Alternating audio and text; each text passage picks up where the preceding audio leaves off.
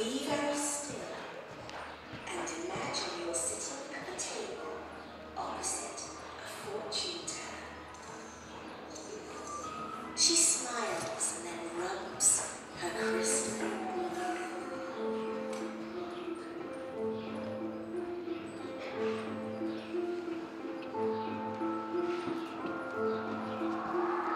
All of a sudden, colors and shapes start